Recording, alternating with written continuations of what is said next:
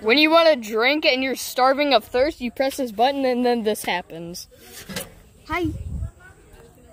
Not what I wanted. Why? Why?